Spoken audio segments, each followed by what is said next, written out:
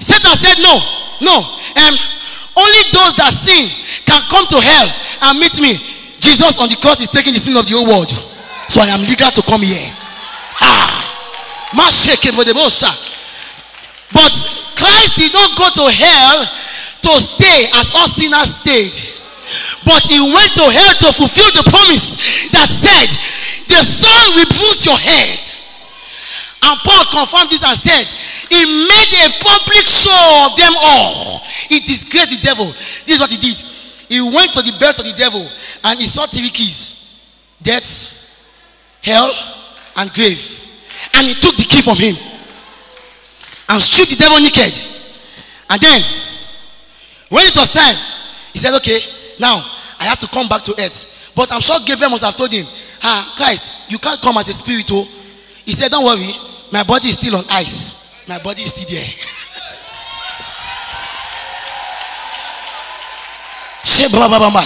hey, hey. And Christ entered back into Jesus. Remember, Paul said, If the spirit that raised Jesus from the dead dwells in you, it will quicken your mortal bodies. Hey, so so Jesus, Christ entered into Jesus, broke the grave, and came out and said, All power has been given to me.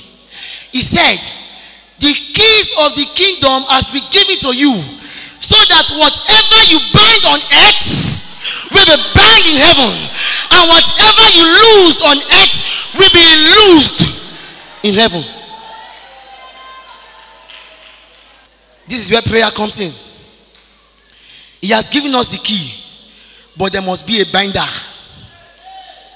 There must be someone to bind. He has given us the key, but there must be someone to lose. He said, It is what you bind, heaven will bind.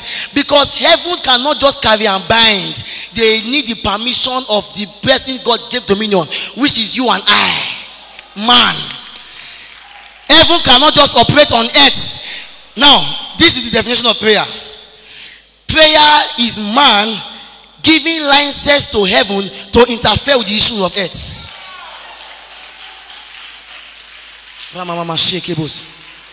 Prayer is what? Man giving license to heaven so that heaven can operate on earth. Check the scriptures.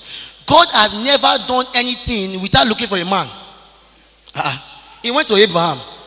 He told Abraham, He said, I want to destroy Sodom and Gomorrah. Why are you telling me? Are you not God? Go and destroy Sodom and Gomorrah. No, I need permission. He told Moses, I have heard the cry of my people. I'm going to deliver them. Hey, are you not God? Go and deliver them. No, I need somebody. Because I am trapped by my word. It was you I gave authority to operate on earth. So I need man to operate. See, this was why Jesus said men ought always to pray. Because the moment man stops praying, heaven stops working. The moment man stops praying, heaven stops what? Stops working. Because heaven cannot come down to earth except man gives the permission. Do you see the reason why God always wants to heal you?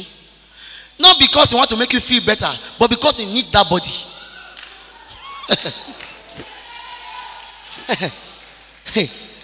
you see why God always heals you? Not because he wants to feel better, but he needs that body. Remember, the church is called what? The body of Christ, not the body of Jesus. Because Jesus is the man, the flesh. Christ is the spirit. Jesus is the flesh that gave Christ opportunity to walk on earth. Now, remember, Jesus told them, I am going. When he was going up, the angel told them, Men of Galilee, why do you stand and look? This same Jesus that is taken away from you, he will come back. But before that Jesus come back, someone has already come. Who is that person? The Holy Spirit. The Holy Spirit. Where does the Holy Spirit reside? Where does he reside? The body. The Holy Spirit cannot just walk on his own. No, he needs a body. He needs you. He needs me. He needs the church to rise up and pray and stop the nonsense that is going on in our country and stop the nonsense that is going on in Nigeria and stop the nonsense that is going on in your family. Not just you receiving miracle, but you praying that miracles will happen. The Bible said Elijah was a man subject to like passion as us. But this man prayed and heaven was shut up. Heaven did not give rain for three months and for three and a half months. But he prayed again. Three years. Three years. Yes, three years. And he prayed again. And the heaven gave rain. See, see. When the Bible says Elijah was a man subject to like passion, it means Elijah was a normal man like me and you. Do you know why? Remember, after Elijah had sacrificed the, the prophet of Baal, Jezebel told him, Ah, you killed my prophet. This same time tomorrow I will have your head. And Elijah ran. Uh-uh. Elijah, why did you run? Are you not a fire bender? You that call fire from heaven to burn how many captains and their soldiers? Why did you run? Because Elijah had fears like me and you. But what differentiates the natural man from supernatural man is that he prayed. And heaven shut up. He prayed again and heaven gave rain. If the church can stand up to pray, miracles will begin to take place.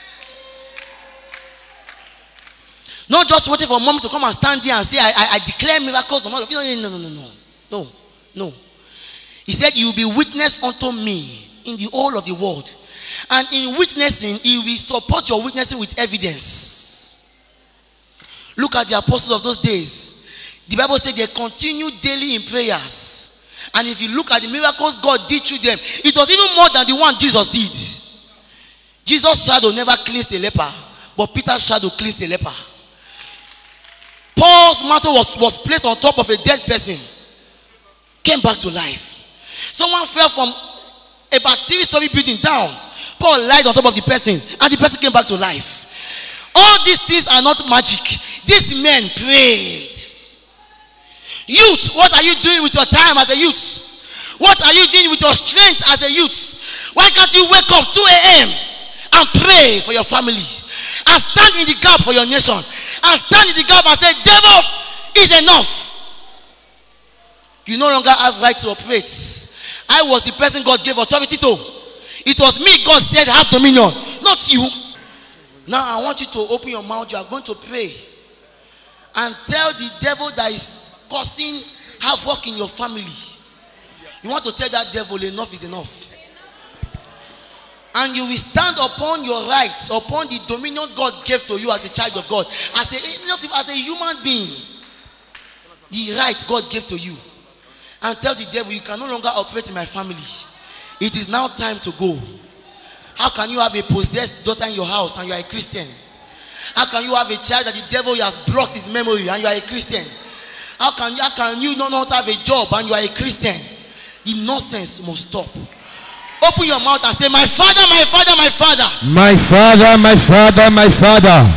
Every havoc the devil has created. Every havoc the devil has created. In my family.